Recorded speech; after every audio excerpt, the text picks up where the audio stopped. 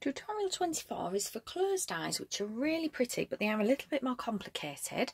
If you're a complete beginner you will may struggle with this one a little bit more. I'll show you the eye. So it's like that effect. It, I think it gives a really happy effect um, to the bunny. It's a bit of a girly, girly looking eye.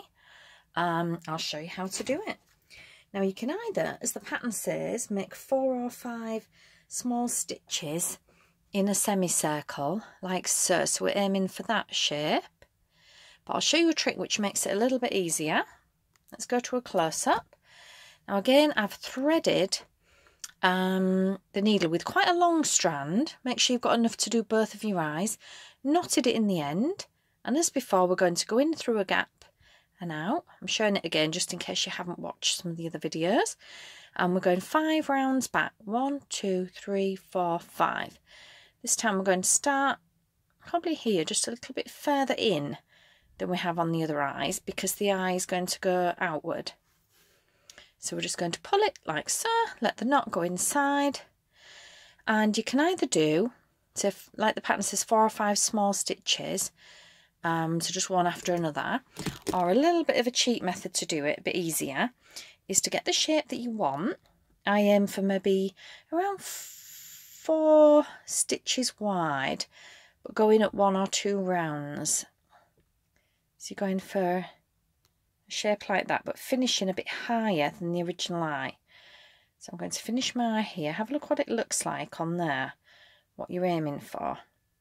So that is a little bit higher, one or two rounds higher, and maybe around, around four stitches across, but feel free to make them as big as you want.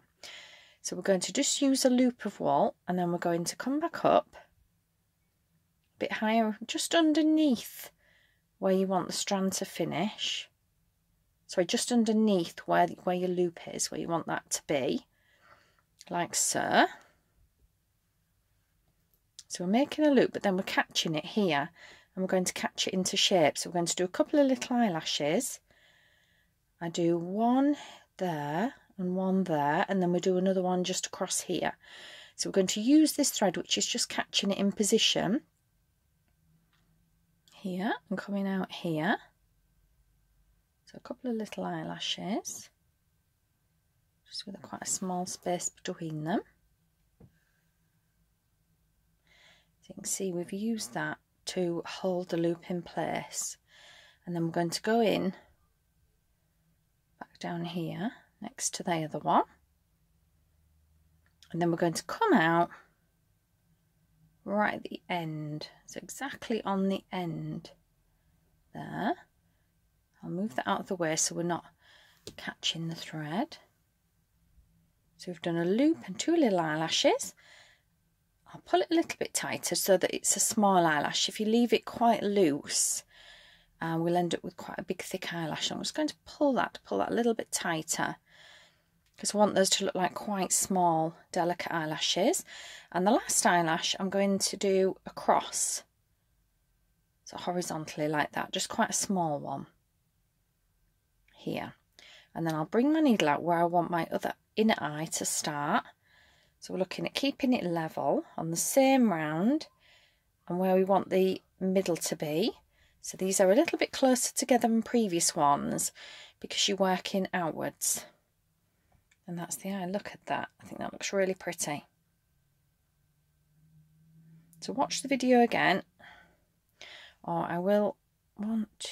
So this one, one, two. So you're two rounds higher and about three or four across. So one, we'll do the same on this side. One, two.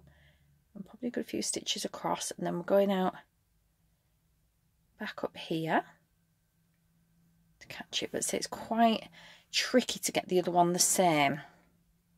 So you may have to redo this a couple of times. That looks not too bad actually. So we're going to go for two little lashes again. One going one way and one the other. So we're going to go in where we want this lash to be.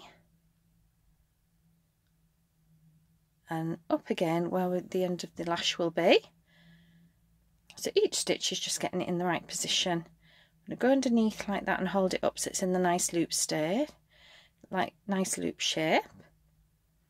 And then we're going to come out again at the very end of our eye. It's got two little loops, two little eyelashes there. And then we're just going to do that one. It's just around a stitch long, quite a small one. And again, horizontal, so it's level around here. And I'll just come up somewhere else. Now, it's very difficult to get it right first time, so these could look a little bit different. They're slightly different with the eyelashes. So what I would normally do is pull that back and redo that one. But look at that. I think that's really getting really pretty. She looks, she looks like she's joyful. that's the word. I'll just show you how to pull it back in case you just want to pull it out. You can pull back by just using the back of your needle. Undo those stitches Try and catch the full thread rather than splitting it. I'm just going to undo those stitches so you could see how to redo it if you weren't happy with it. I'm going to use the back of my needle just to undo that. Pull it out and we can pull back as far as you're not happy with. I just think they're not quite level there, so there we go. So we're back to where we were now and we can just carry on and finish our eye.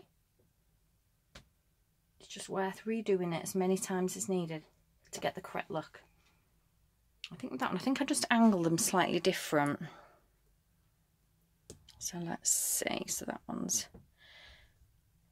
I think they're a little bit too far apart as well. That's a bit better. Around there and here. And a bit starting from a similar point. So they're going to go in a little bit closer. I think I'd had too big a gap. Back out here again. Oh, there we go. I'll just pull that one a bit. And by pulling on this one, it'll pull the other one a little bit tighter. It's a bit big. And then we're going to do a horizontal stitch again.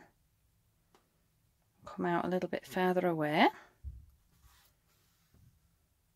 Oh, look at that. I think she just makes her look so happy. Happy and joyful bunny. So play around until you're happy with the eyes that the match. And the eyelashes match. And when you're happy with her, we're going to do the same as before. Go back in through the same gap we've just come out of. We're doing this between stitches. And then come out a few stitches away.